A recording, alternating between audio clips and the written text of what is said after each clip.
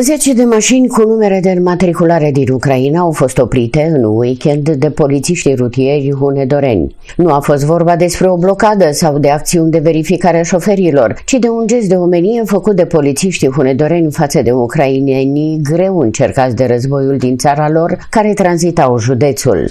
Polițiștii Serviciului Rutier Hunedoara au desfășurat o acțiune informativ-umanitară pentru cetățenii ucrainieni care tranzitează județul Hunedoara spre alte destinații în scopul prevenirii accidentelor rutiere produse pe fondul oboselii la volan, dar și conștientizarea conducătorilor auto cu privire la responsabilitatea pe care o au atât persoanele din autoturismul pe care îl conduc, cât și pentru toți participanții din trafic.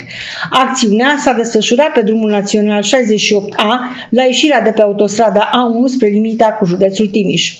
Polițiștii au oprit în trafic vehiculele care parcurg o distanță considerabilă, ocazie cu care au oferit conducătorilor auto, dar și pasagerilor, cafea, ceai și sfaturi preventive în limba engleză. Acțiunile pe linie rutieră ale polițiștilor hunedoreni continuă și în zilele următoare pentru conștientizarea tuturor participanților la trafic, indiferent de naționalitate, privind importanța respectării normelor de circulație.